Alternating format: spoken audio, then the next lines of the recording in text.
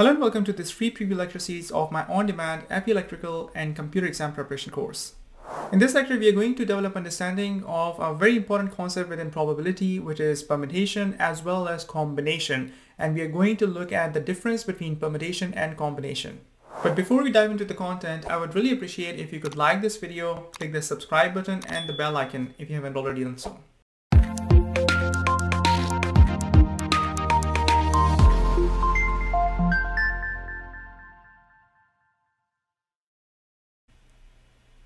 Hello and welcome to this lecture on the topic of permutation and combination, which is part of section 2, probability and statistics. Learning objective of this lecture include understanding permutation and combination, and more importantly, the difference between permutation and combination. Permutation. What is permutation? Permutation is an arrangement of a set of objects in which order is important. Mm-hmm. Okay, this is a key difference between permutation and combination. Let me give you an example. Let's say you are given A, B, C. Okay, now in terms of permutation, ABC and BAC or CAB are three different permutations.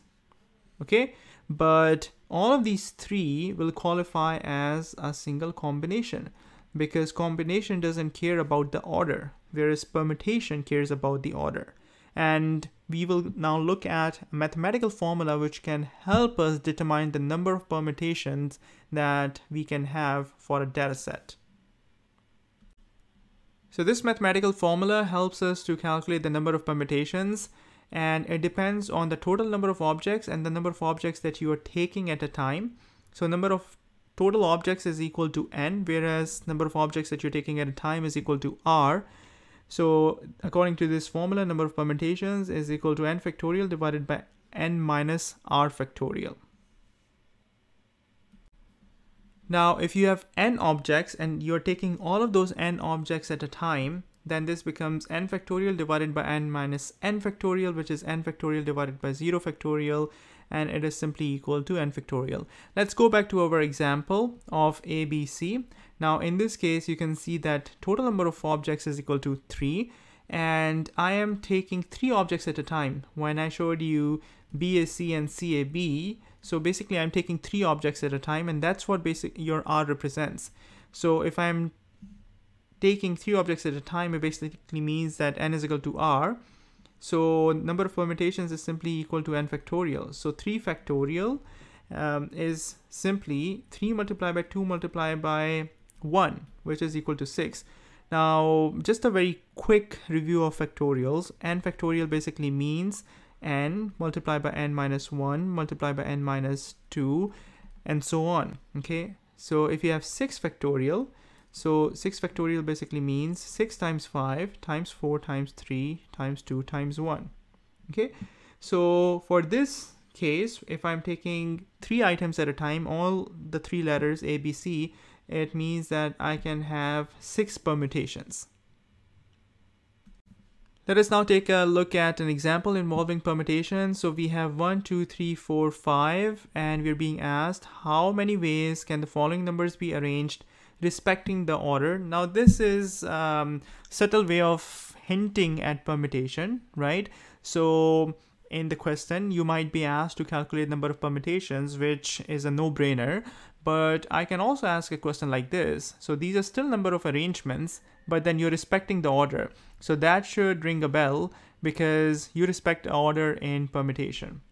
Okay, we are taking three numbers at a time. So that tells you that r is equal to 3. The total number of uh, numbers, items that we have over here is n, which is equal to 5. So we will simply apply this formula n factorial divided by n minus r factorial. So we have 5 factorial divided by 5 minus 3 factorial, which is equal to 60. Now, if I were to sort of expand this, just for your understanding, 5 times 4 times 3 times 2 times 1 is what you will end up in the numerator.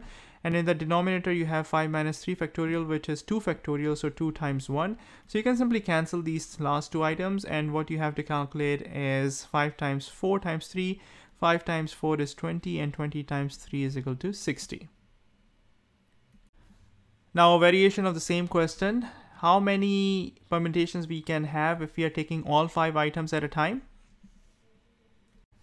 Obviously, if you're taking all five items at a time, you will end up with greater number of permutations, but to calculate it exactly, we have to use the formula again. So we have n factorial divided by n minus r factorial. Now r is also equal to 1, and we saw this equation previously. This simply becomes n factorial when n is equal to r.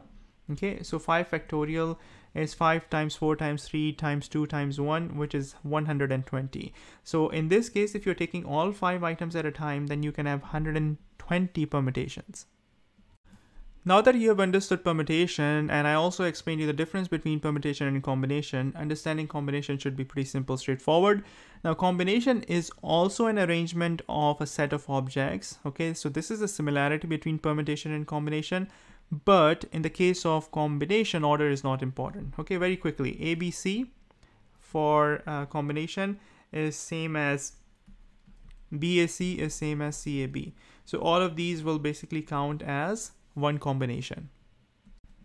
Mathematically you can calculate the permutations and simply divide it by r. And we know that r n is equal to the total number of objects and r is equal to number of objects taken at a time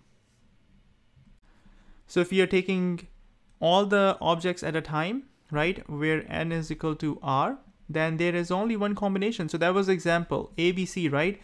I'm taking all the objects at a time. So I'm taking B, A, and C at a given time, right? So all of these will basically result in just one combination. And this is proven by this formula. Now in your calculators, all the NCEES approved calculators have this feature of calculating combination and permutation.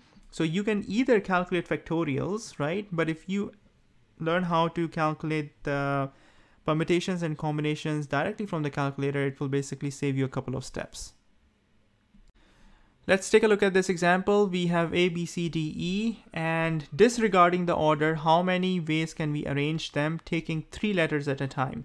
Okay, disregarding the order or not respecting the order basically is uh, hint at combination and three letters at a time basically means your R is equal to 3.